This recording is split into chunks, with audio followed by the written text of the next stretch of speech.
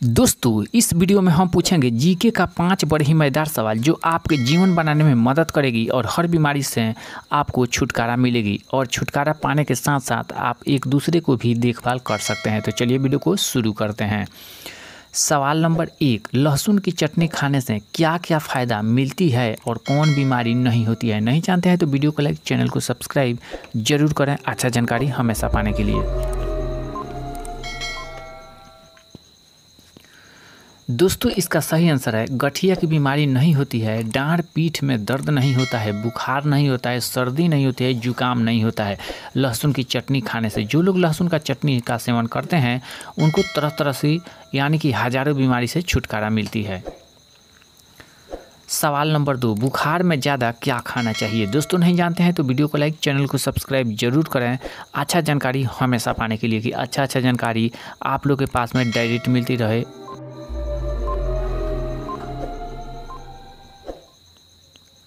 दोस्तों, इसका सही आंसर है, करेला का सब्ज़ी ज़्यादा मात्रा में खाना चाहिए, क्योंकि करेला का सब्ज़ी खाने से बुखार ठीक हो जाता है और तरह तरह की आने वाली बीमारी नष्ट हो जाती है, क्योंकि शरीर में जब कोई ट्रेबल होता है तो करेला ज़्यादा मात्रा में खाना चाहिए। वो हज़ारों बीमारी को से छुटकारा पाने के लिए काम करता है।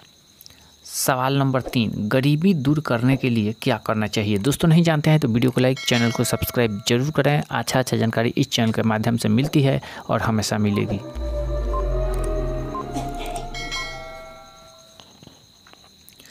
दोस्तों, इसका सही आंसर है, ज़्यादा मात्रा में मेहनत करना चाहिए और बच्चे को पढ़ाना चाहिए। बच्चे को पढ़ाने से ये होता है कि बच्चा पढ़ा लिखा रहेगा तो कोई काम में उसको मन लगेगा और कोई काम को हल कर सकता है दोस्तों, इसलिए ज़रूर पढ़ाएँ। सवाल नंबर चार, दही खाने से क्या फ़ायदा मिलती है? हम लोगों को दोस्तों नहीं जानते हैं तो वीडियो को लाइक, चैनल को सब्सक्राइब ज़रूर करें। अच्छा जानकारी हमेशा पाने के लिए दोस्तों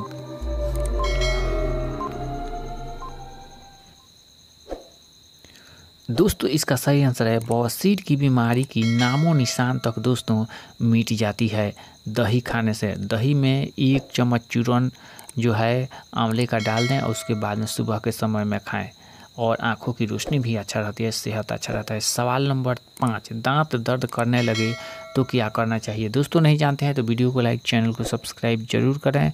अच्छा जानकारी हमेशा पाने के लिए कि आप तक अच्छा जानकारी हमेशा मिलती रहे दोस्तों।